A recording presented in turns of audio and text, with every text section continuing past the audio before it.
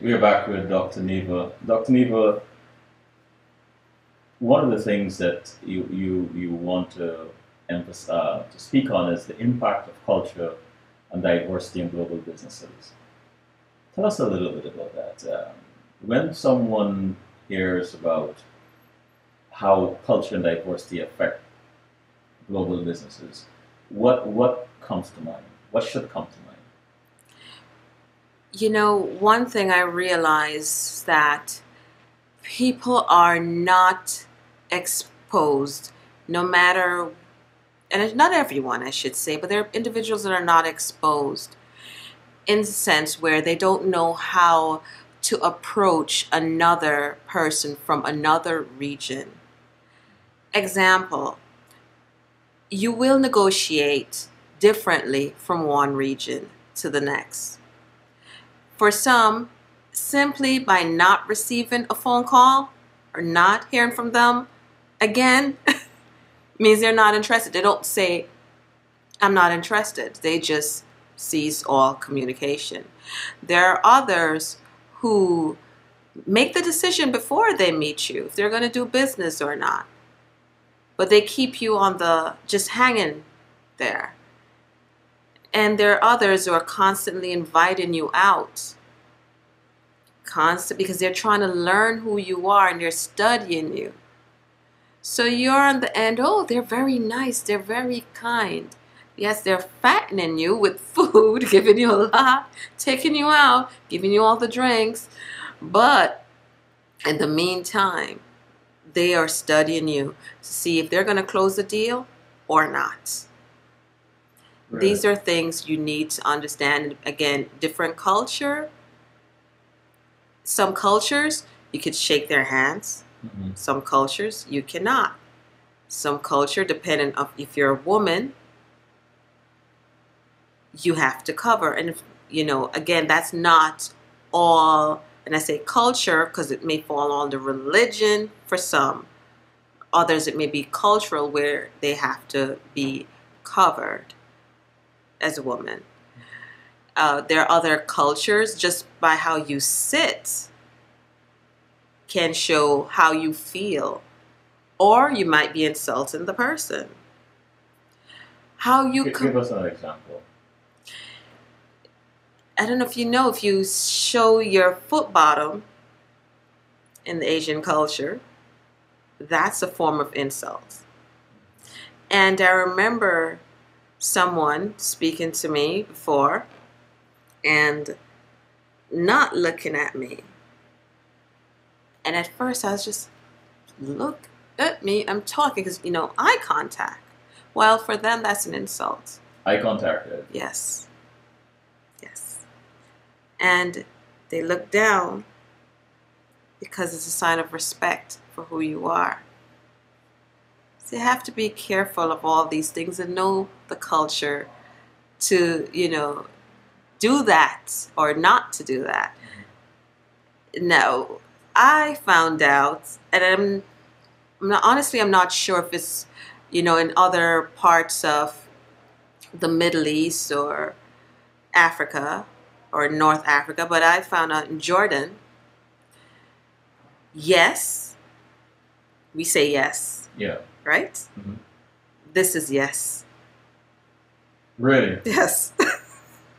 so, and no.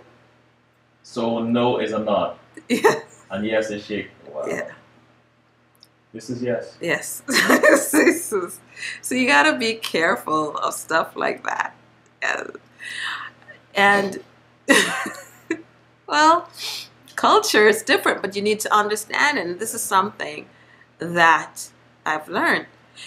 You may go into a home, and a lot of these cultures, they love to feed you, you know. Now, the weirdest thing that happened to me in Saudi with the family, and this is my first time when I visit, this was not, they were not a Saudi family, okay? They were a Jordanian and Lebanese couple.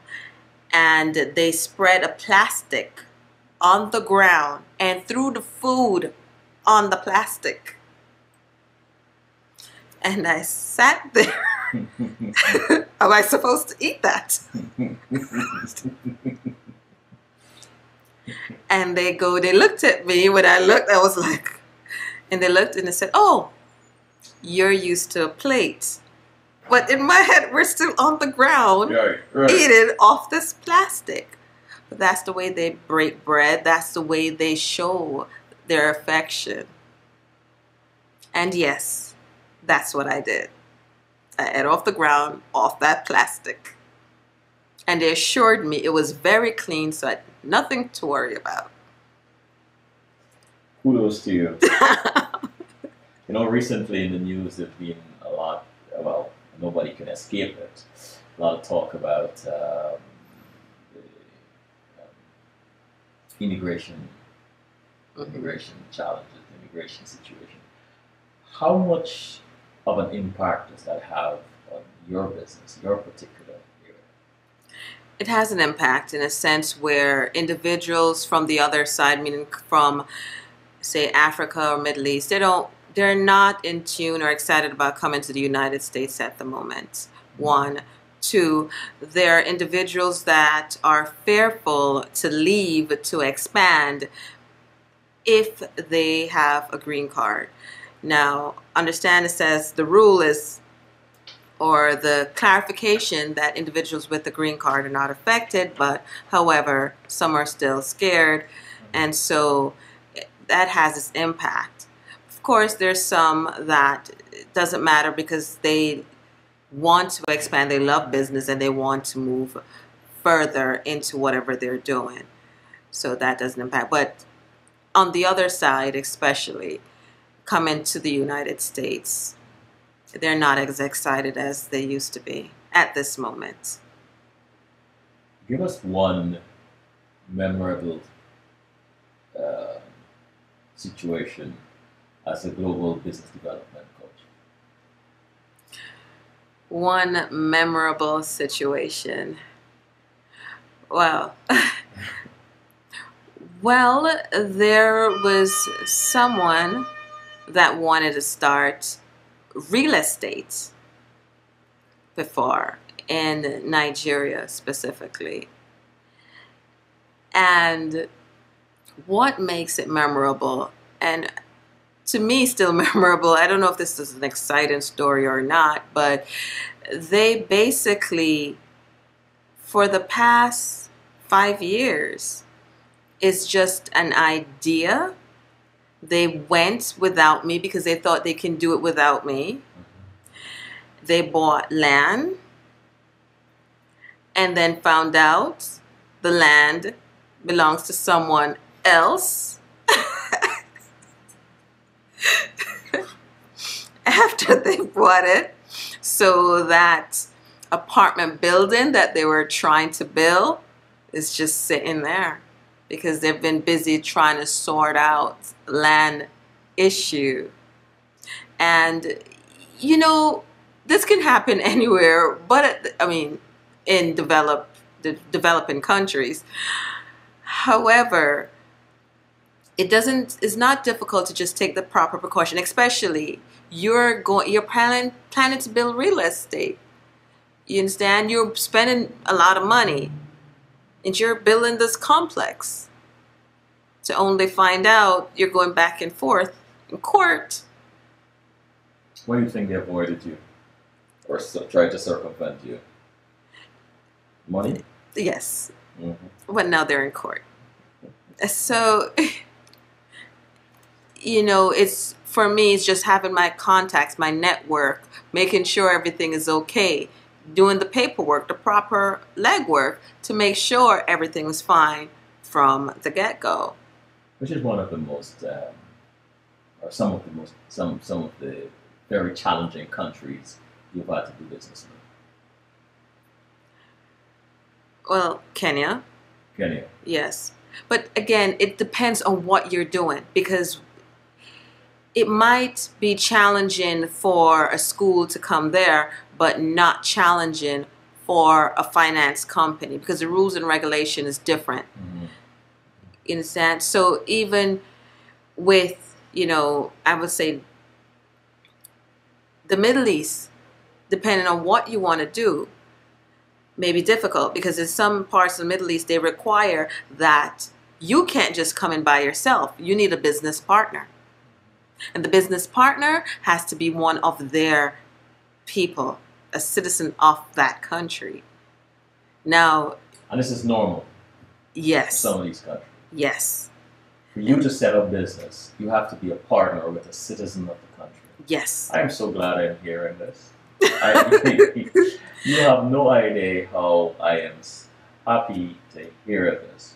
Well, Be, you know, because in the Caribbean, you know, Guyana has just found a whole bunch of oil, and you know, there's this this discussion about people going into Guyana to purchase land, and you know, now the guy is about to turn around, and there's this debate about should they be able to just go and own land, or would they have to partner with Guyanese and so on. So I'm so glad to hear that there are countries around the world.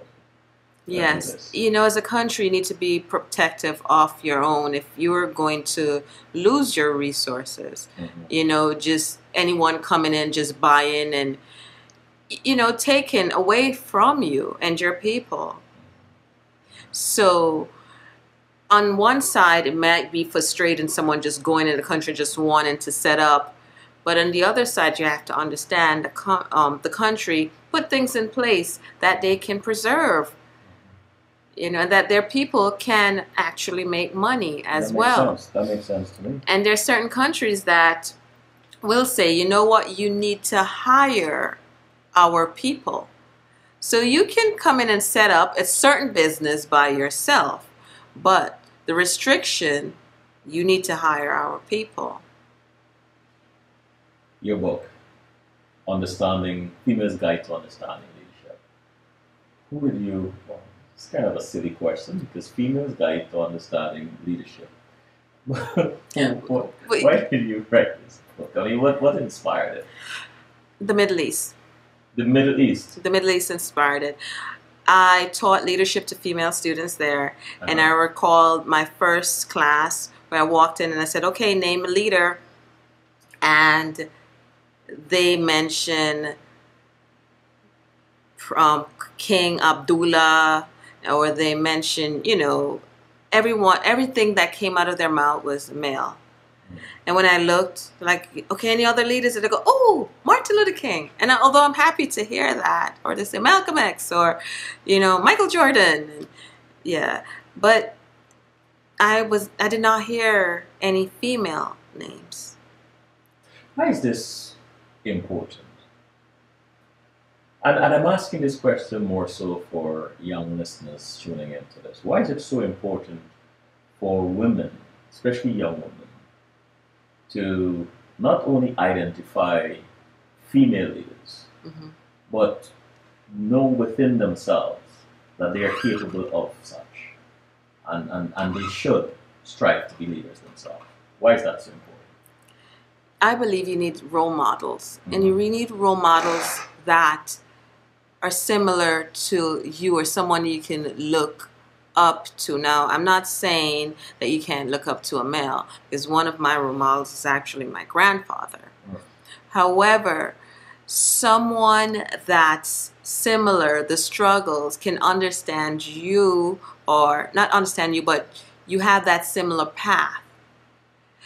Example, you want to be a doctor.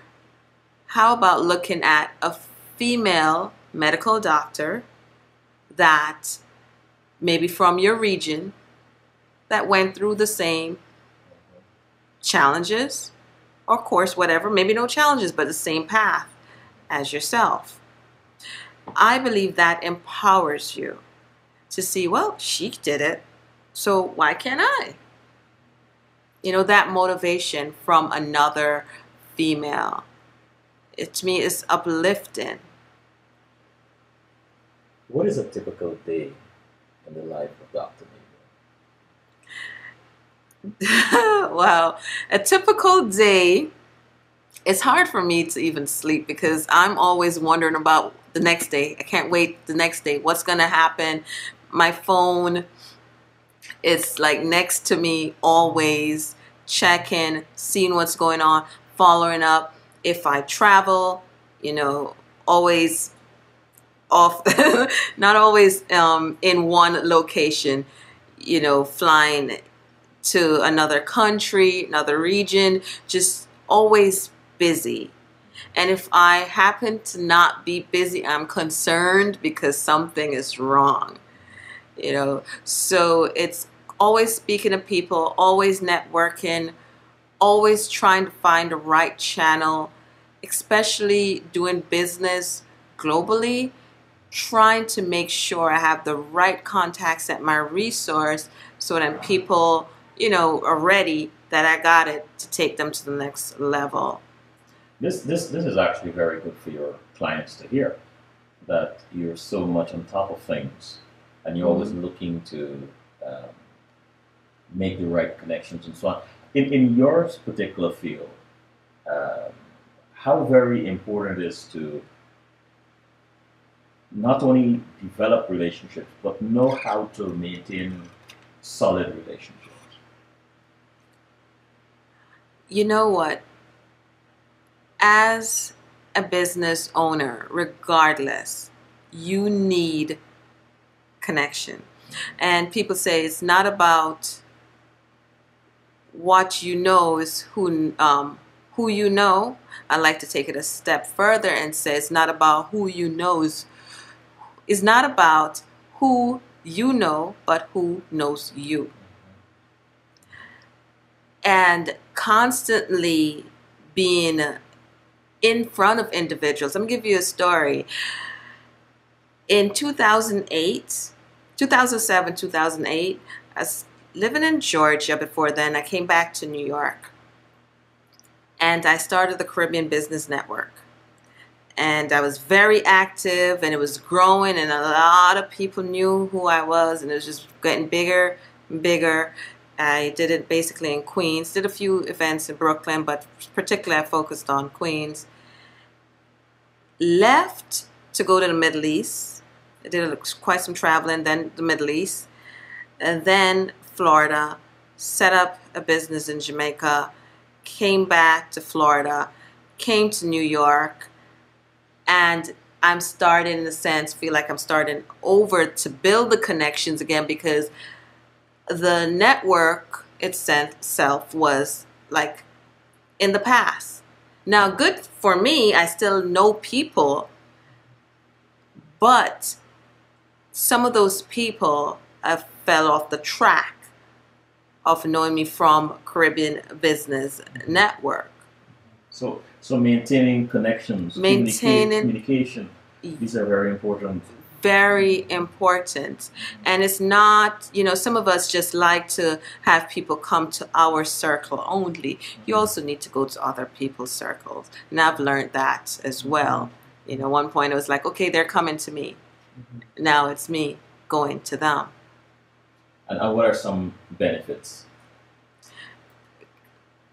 People get to know each other from connection. I mean, I know you because of a connection Yeah. and so forth. And we continue building each other from there. You know, we need to keep that. It's not about, oh, connection is just going to build me. No, us.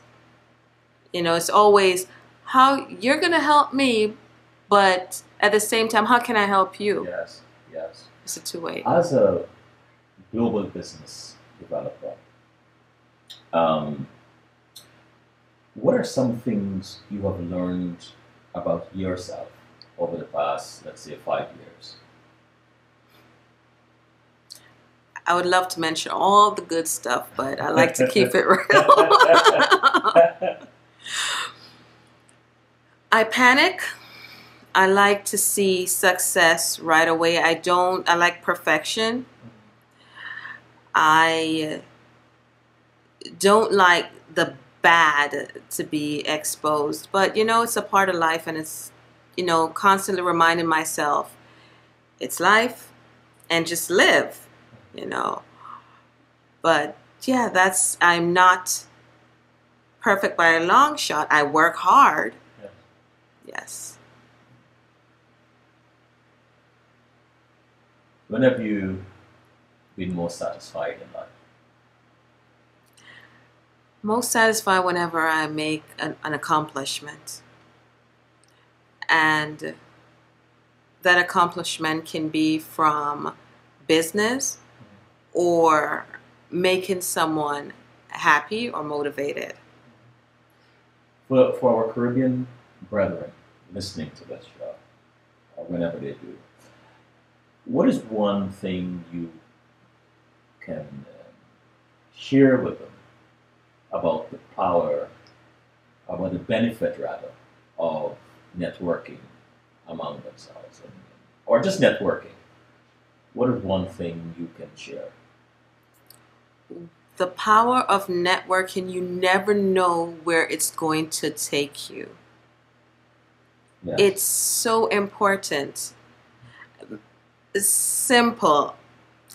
Now, I know you said specifically the Caribbean, you know, individuals that are listening in, but through someone seeing me, hey, how are you doing? I start speaking. Didn't realize who the person was. Now, the person that I met is one of the most powerful persons in Nigeria. And I met him in Florida just walking around. Through networking, just being who I am in a sense where not carrying a, a title around or stuffy. It's just, hey, you know, introduce me to others. And those others have brought me to other powerful individuals. And not just from, you know, Nigeria. This happens a lot. Hence the reason why I why I do what I do. But you need when we tend to be selfish in a way where oh I'm not saying I'm not going to share this because they're going to take it and they're going to make themselves better. Sometimes your kindness to help others can bring you so much more. I, I, I, I actually really truly believe in that. Um, just now you, you alluded to being impatient with business and you just want want things to happen. um, you know, you don't want to highlight the bad. But I'm, I'm going to expand this a little bit, Mhm. I, I'm just in one of the kind modes. Um, aside from that,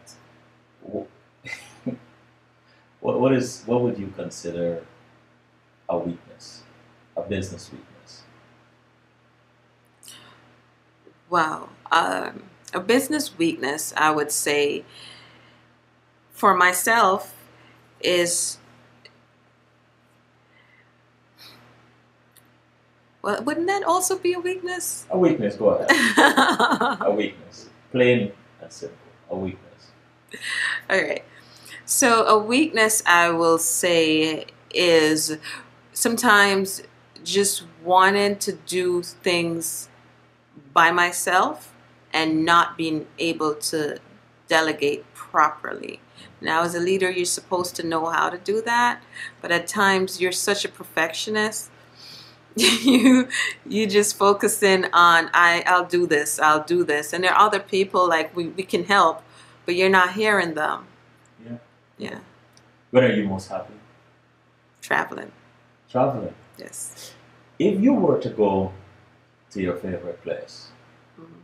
with your favorite book or thing to read, favorite music, favorite drink, Mhm. where will this place be? What will you be drinking? What music will you be listening to? Wow. What will you be reading? Wow. Okay. So I have an eclectic taste. Mm. So I'll be listening to, you know, a little um, different kind of music from sub-Sahara Africa or reggae or calypso or souls and maybe pop. I am eclectic.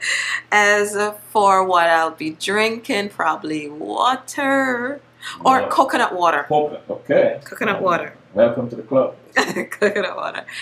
And uh, where will I visit? Hmm. I've been to mm, different places, and uh, well, coconut water probably the Caribbean. But I would also I went to Spain once and I really enjoyed Spain. There's something about it that I like. But and what book will I read? Ooh, and I want to read your book.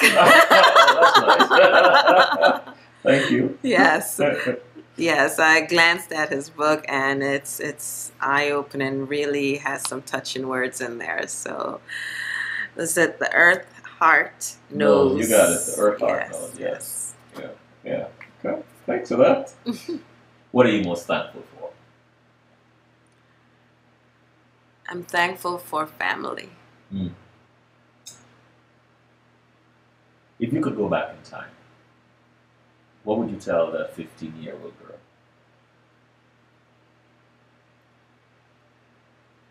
I will tell that 15 year old girl it would be okay. You're going to make it. You're still on a, I mean, you're on a journey. You're going to make it. For those days when you don't feel like getting up to do what you need to do, who or what gets you out of that mindset? Wow. The days, course, there have been those days where I don't want to, you know, but I guess individuals in my past, I mentioned before my grandpa, Mhm. just the words that he has said to me, you know, the things. I mean, he passed on years, years ago, but um, just seeing how my mom pushes a lot to make things happen, S- flying to all over the world to make things happen. My dad, who is very spiritual and just speaks life into me, you know. So when those days that get me down and realizing that if I don't get up, I'll lose their smile. My Mm, parents. I like that. you know. Repeat that. If I don't, reduce usage. If I don't, if I don't get up, I'll lose their smiles, and I, I don't want that at That is all. so profound. If I don't get up, I lose their smiles. If you, if your parents Mhm. were sitting in front of you right now, this moment, what is one thing you will tell your dad, and then your mom, or vice versa? Okay, so to dad, I'll say I love you, even though you were not rich. You are a very humble man. I love you because you so much have you're faithful to your belief and you're a loving person no matter what. To my mom, I will say you're one of the strongest women that I know. And sometimes I don't know how to show you because I think you don't need to hear, but I realize you really do need to hear it. That you're a survivor beyond the survivors. You came from nothing. And look at you now. And to both my parents, I love you so much and thanks for giving me life. What makes you laugh out loud?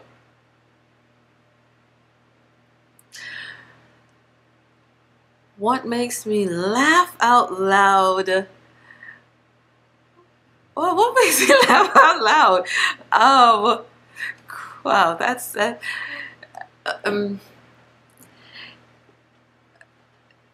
sometimes I, you know, in a crazy way, things that are disorganized Uh-huh. can make me laugh out loud or you know because after the chaos and after the storm you know just laughing looking back um, that's one um, laugh out loud i would love to see a good comedy show but i'm not even you, you know I, that one caught you, right? yes oh, well, some people believe i laugh a lot some people believe i'm too serious so i don't know well, thank you. thank you for spending this time with us this evening.